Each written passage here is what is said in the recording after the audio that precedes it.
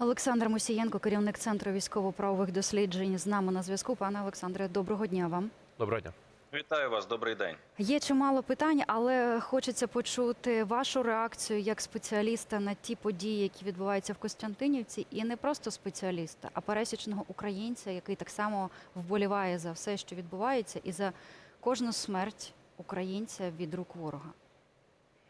На жаль, треба сказати, що Росія не припиняє воювати тими методами, якими вони воюють, методами фактично таких геноцидних практик і відвертого терору. І треба розуміти, що на будь-які дії.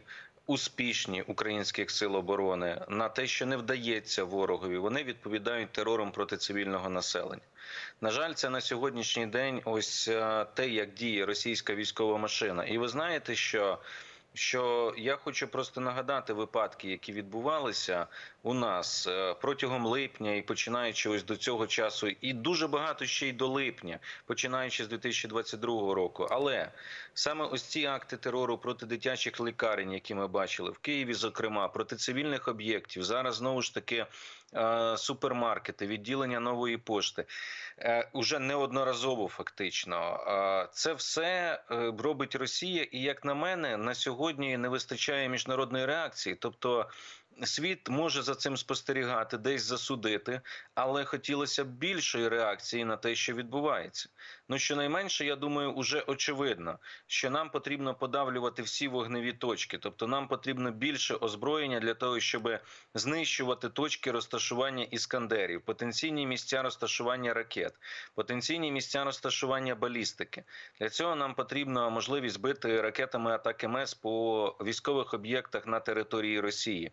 І не тільки є цілий перелік рішень, їх озвучував президент України, які варто було би застосувати в цій ситуації, тому що просто за цим спостерігати, просто відверто, от мене дивує міжнародна реакція, тому що, на мій погляд, її недостатньо проти того терору, який відбувається на сьогоднішній день. Але сподіваюся, що все ж таки позиція. е, Світових лідерів, і все ж таки позиція багатьох держав вона буде налаштована рішуче, але рішучість має конвертуватися в практичні рішення. Засудження мало потрібно діяти і потрібно забезпечувати протидію ворогу і убезпечувати від таких атак. А це можна зробити тільки активною позицією і активною обороною, і навіть превентивною обороною, коли це потрібно.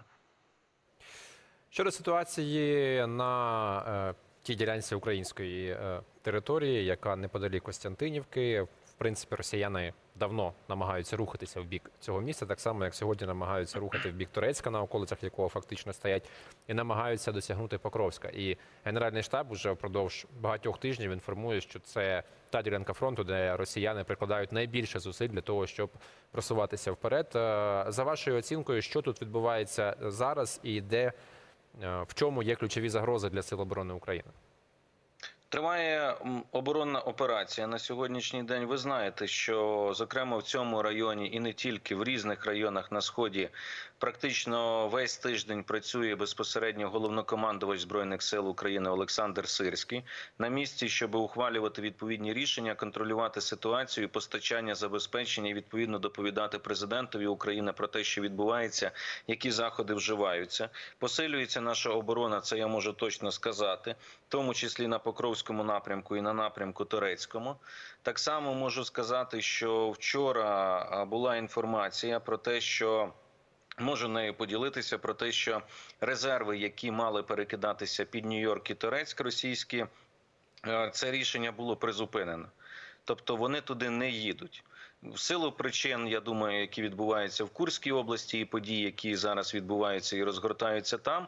Але разом з тим, це вже демонстрація того, яка а, зараз на сьогоднішній день оборонна операція України а, багатогранна. І наскільки застосовуються різні зараз заходи для того, щоб ворога зупинити, і в принципі потенціал для того, щоб зупинити ці атаки, десь ну я скажу так, я передбачаю таку фазу гарячу ще десь до, скажімо так, половини вересня, а далі вона має піти на спад. Принаймні, все робиться для того, щоб остаточно виснажити ворога на цих напрямках і їх зупинити. Крім того, можу сказати, що ну. варто очікувати і певних, я думаю, хороших новин і сюрпризів, тому що хочу звернути увагу на світлину головнокомандувача збройних сил України, яку він вчора розмістив себе в соцмережах із підписом, що працюємо на вихідних районах. Вихідний район це район, який е, фактично є рубіжом рубежом наступу для проведення наступальних дій. Тобто, це так само тенденції до того, що те, що називається активна оборона, і те, що називається певні наступальні дії.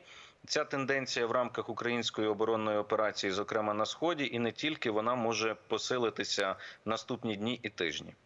Я хочу повернутися до згаданого вами Турецька і Нью-Йорка. Безпосередньо ті події, які відбуваються там. Тут дуже важливо виснажити ворога, і ви про це теж говорите. А чи вистачить найближчим часом у росіян ресурсів, малі піхотні групи? А що з танками? Що з іншою технікою? Чи присутня вона, чи зменшується її кількість зараз на фронті? Вона є, її кількість зменшується, але ця техніка ще є. Питання в тому, що це залежить від тієї тактики, яку ворог обирає для штурму на тих чи інших позиціях. Коли ми бачимо, що як би там не було, але від застосування техніки російські війська не відмовилися остаточно. Тобто, час від часу в них е, відбуваються спроби таких е, проривів за допомогою важкого озброєння і бронетанкових груп. Але вони закінчуються безуспішно, тому що наші сили відбивають доволі таки успішно ці атаки. Але разом з тим вони намагаються проривати за допомогою цього. Що стосується Нью-Йорка і Торецька, проблема є в тому, що ворог застосовує активно свою авіацію, і саме застосування авіації керованих авіабомб на сьогоднішній день, коли окупанти руйнують фактично Торецьк цими ударами, і є на сьогоднішній день найбільшим викликом там. Якщо ми говоримо про техніку і зброю, саме тому я думаю, що ми бачимо буквально за тиждень. Протягом тижня ми бачимо удари по аеродрому Морозовськ, по аеродрому Ліпецьк, де якраз є склади зі скабами. скабами. Це якраз теж оборонна операція в рамках того, щоб зменшити можливості і зменшити кількість і частоту ударів кабами, зокрема на турецькому напрямку. Що стосується живої сили, то ворог несе втрати. Ви бачите, що за минулу добу, дві доби вдалося дещо ситуацію стабілізувати. Що там були успіхи у противника, які він міг в принципі розвивати. І навіть з, з, з таким періодом кілька тижнів тому, то ці успіхи можна навіть назвати такими дещо стрімкими, хоч на тактичному рівні, але такими.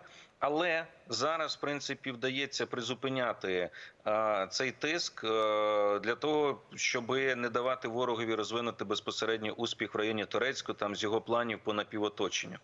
Ну і так само, скажімо так, виробляються формули для протидії авіації. Я вже сказав про удари по аеродромах. Ну і в принципі, я думаю, що є інші, скажімо, заходи, які вживаються в цій комплексній оборонній операції, аби не дати ворогові е, задіяти значну кількість резервів саме на цьому напрямку. Ви згадали про удар по аеродрому Липецьк, який е, стався е, в ніч на сьогодні. За даними Генерального штабу, уражено, зокрема, склади, де зберігалось понад 700 керованих авіаційних бомб. І ви також зазначили, що це вже не перший удар по місцям зберігання цього типу озброєнь. На вашу думку, які, яке значення мають ці удари для потенціалу ворога у використанні тих самих кабів? Тобто наскільки це для них відчутно? Дуже відчутно, тому що це ж е, каби, які заготовлені для того, щоб наносити удари, плюс авіабази і аеродроми, звідки було прораховано, що ці удари мають наноситися.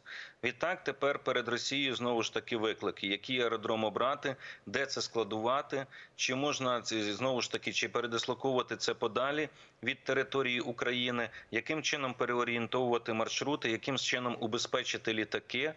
Тобто, безумовно, що це ослаблює потенціал ворога. Так, у них є велика кількість, е, може бути велика кількість саме авіабомб на складах. Звичайно, що це не каби в класичному вигляді. В каби їх ще треба переробити, щоб вони дійсно були кабами, підвісити необхідне обладнання до них. А от, але разом з тим, це все ж таки втрати. Це значні. Ну тобто 700 авіабомб тільки в одному місці. Це дуже значні втрати. Більше того, я вам можу сказати, що саме в Ліпецьку це дуже стара авіабаза, і Ліпецьк був обраний для того, щоб там знаходиться центр удосконалення польотів і впровадження технологічних рішень, які мають покращити роботу російської авіації, саме тактичної авіації, літаків типу Су. Такий центр, схожий є ще в Ахтубінську, по якому теж наносився удар кілька тижнів тому. І відповідно, якщо є руйнування, буде встановлено, що в цих центрах, то це суттєво зменшує можливості російської авіації, тому що саме на цьому аеродромі проходять перенавчання пілоти, вони проходять підвищення своєї кваліфікації, і крім того, там працюють інженери, які вивчають фактично вже ось цей досвід війни.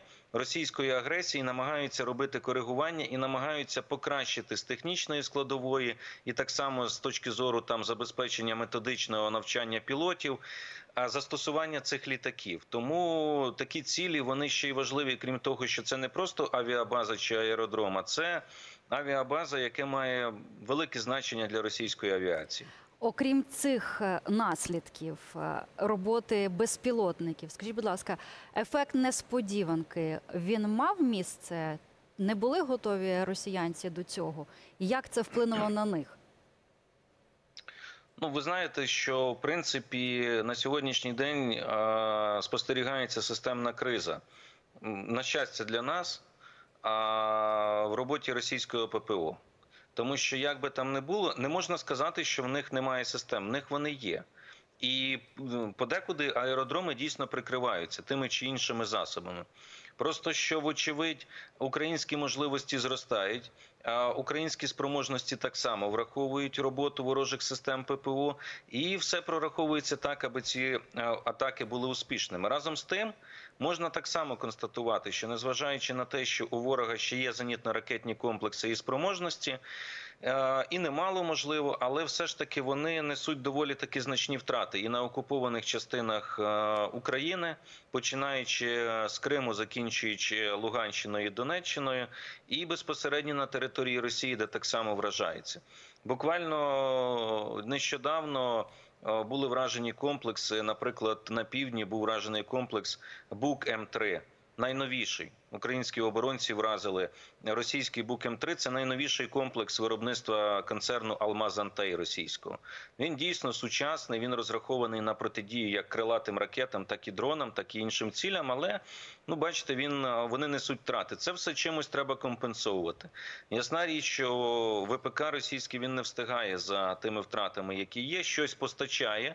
В російські війська продовжує, але все ж таки з темпами не може впоратися. І крім того, все ж таки, е, я думаю, що детальне планування організація атак е, українськими силами даються в знаки, в тому числі коригуючи їх на можливе розташування систем ППО і РЕБів на території Росії, які дійсно мають певні кризові явища. Дякуємо вам. Ми завжди Дякую. раді бачити і чути вас в прямому ефірі. Нагадаємо глядачам, з нами був Олександр Мусієнко, керівник центру військово-правових досліджень, аналізував ситуацію на фронті, поточну ситуацію.